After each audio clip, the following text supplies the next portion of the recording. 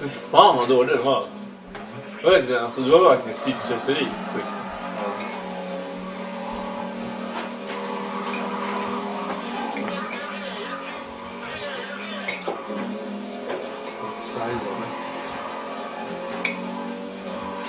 Men jag undrar verkligen om de liksom på, på, alltså de måste ha gjort det med mening för de har ju spelat in bra filmer. De, vet- alla vet ju liksom hur en bra film är.